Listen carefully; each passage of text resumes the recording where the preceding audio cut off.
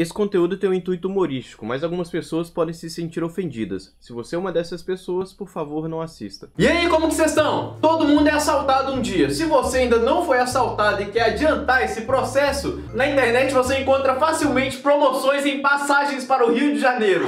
E fique atento porque as mais tops já vêm até com seguro de vida. E é sobre assalto que é o vídeo de hoje. Eu sou Tom Ducto e sejam bem-vindos ao show.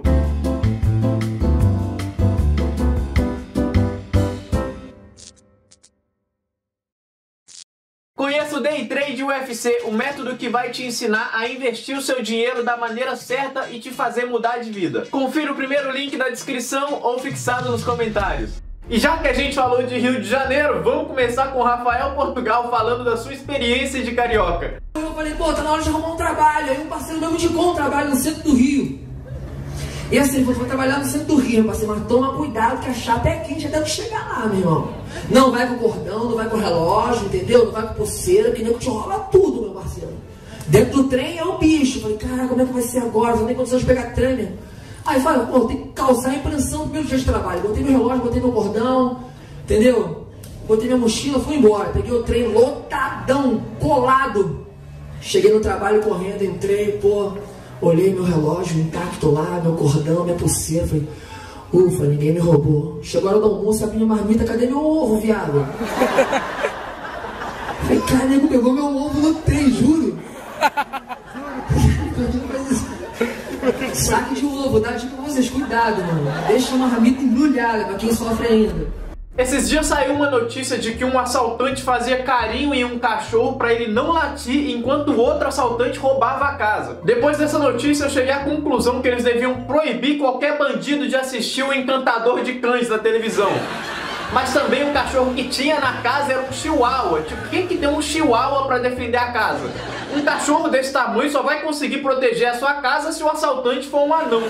O Nil Agra falou sobre o quanto que o país está perigoso e o quanto que assalto se tornou uma coisa comum. Ô, eu vou, vou falar um bagulho hoje que, que tá foda, que é, que é a violência, né? Assalto pra caralho, né? Ficou comum, né? Tinha assaltado por tempo todo, a gente tá andando na rua com o celular na mão e o cu na outra, né? Assalto. Quem aqui já foi assaltado? Pode levantar a mão. Olha, quase todo mundo, né? Porra, seu Paulo já nunca foi assaltado, seu Paulo? Em 300 anos de vida.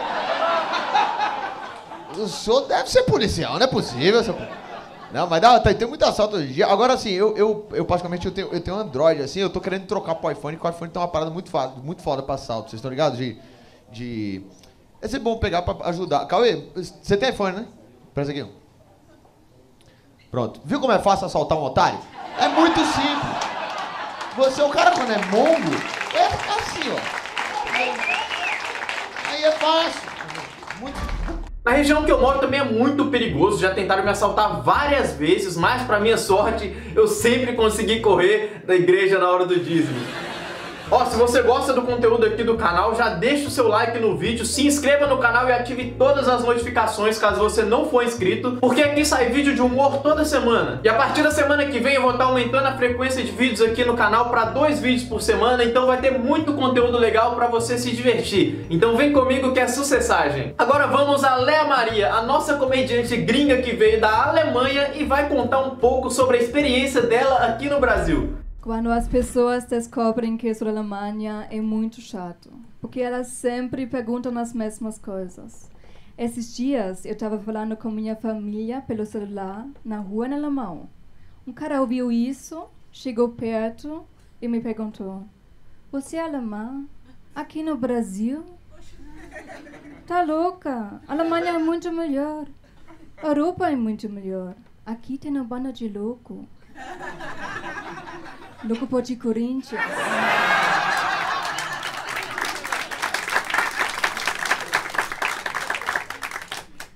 Daí ele pegou meu celular e saiu correndo.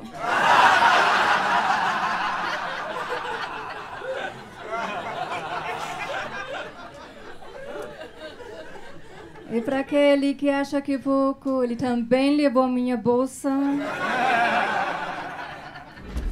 Olha, ser assaltado também não é lá tudo de ruim, tem sim o seu lado bom. Por exemplo, o bandido que te assaltar não vai pedir para você fazer os cartões da loja, pelo contrário, ele vai te livrar dos cartões que você tem. E também depois de ser assaltado, o seu nível de falar mentira diminui muito, porque dessa vez quando você passa na rua e um mendigo te pede o dinheiro, dessa vez você fala que não tem e é realmente verdade. E a próxima piada é do nosso comediante Denison Carvalho falando sobre a dificuldade de morar em Ceilândia. Porque eu morava em Brasília, eu morava num bairro chamado Ceilândia, que é uma quebrada ferrada, assim. Ferrada, ferrada. E, mas lá é muito bom, só que lá tem algumas dificuldades, tipo, pegar ônibus, assim. Eu, eu lembro quando eu estudava, toda vez que eu ia pro ponto de ônibus, me assaltava, assim. Ia pro ponto 6 horas da manhã, ia pro ponto, me assaltava. Ia pro ponto, me assaltava. Aí meu pai falou assim, ó, você tem um herói, aqui é seu pai, vou te deixar no ponto. Aí assaltaram nós dois. É. Até apresentei o bandido pro meu pai. Falei, pai, isso aqui é o Cleiton, Cleiton, isso aqui é meu pai. Cleiton desce da bicicleta, tira o Juliette, vamos ser educados, pai. Tinha um moleque da minha rua, o Mike. Eu falei, Mike, a pior coisa que tem é pegar um ônibus que já foi assaltado. Ele falou, pois é, bem na sua vez não tem mais nada, né?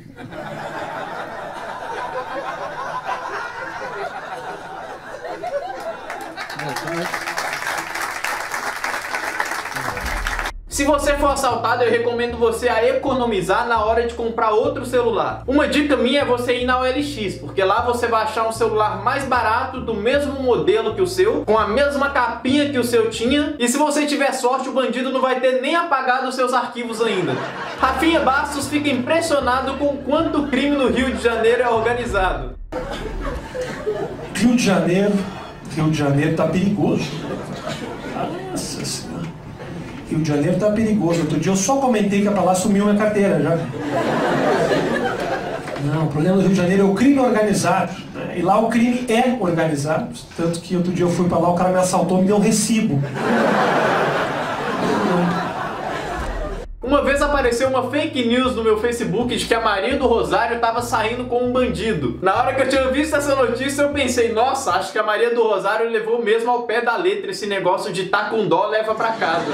Bom, esse foi o vídeo de hoje, eu espero que vocês tenham gostado. Antes de encerrar, eu quero dizer pra vocês que eu abri o Seja Membro do canal, então se você quiser apoiar o canal aqui se tornando membro, eu vou agradecer muito e eu sempre vou agradecer os novos apoiadores aqui no final dos vídeos. Se vocês tiverem sugestões para temas relacionados ao humor para eu produzir, para trazer para vocês aqui no canal, deixa aí nos comentários que eu vou ler com todo prazer, eu adoro ler os comentários. E vocês podem ver aí nos vídeos do canal que eu sempre tento responder o máximo de comentários possível ou pelo menos dar um like de coração para mostrar que eu li o comentário. E eu também tô publicando notícias envolvendo humoristas e comediantes na aba de comunidade do canal. Então dá uma olhada na comunidade do canal que tem notícia lá que você pode achar até legal ou interessante. Me segue no meu Instagram que eu costumo colocar aqui na tela que lá eu sempre posto uns videozinhos de humor, cara. Então, se você gosta de humor, com certeza você vai gostar de assistir os videozinhos que eu posto lá também. Bom, isso é tudo, pessoal. Obrigado por assistir até aqui e te vejo em outro vídeo.